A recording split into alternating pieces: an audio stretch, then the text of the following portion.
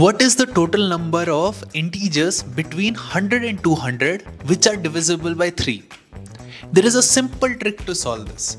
That trick is the number of integers n should be equal to the greatest multiple of the number 3 minus the smallest multiple of the number 3 divided by 3 this is small not 5 plus 1 okay so what is the greatest multiple between 100 and 200 which is divisible by 3?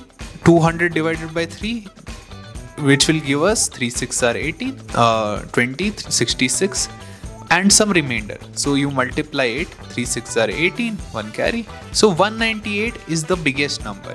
So greatest we can substitute to be 198.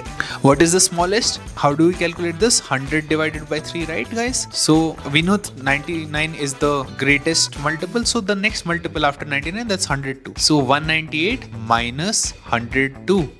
How much is that guys? Oops.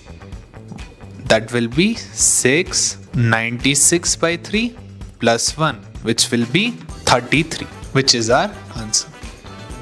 Want free access to premium GMAT prep materials along with the tips and tricks to score 690 plus? Comment down below GMAT and I'll send them to you in the DMs.